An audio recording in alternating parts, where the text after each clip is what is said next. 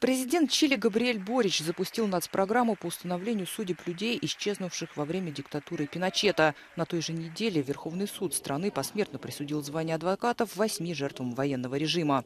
Считается, что за время правления генерала Аугуста Пиночета с 73 по 90 годы было убито или пропали без вести около 3200 левых активистов и других предполагаемых противников режима. Пыткам подверглись свыше 37 тысяч человек.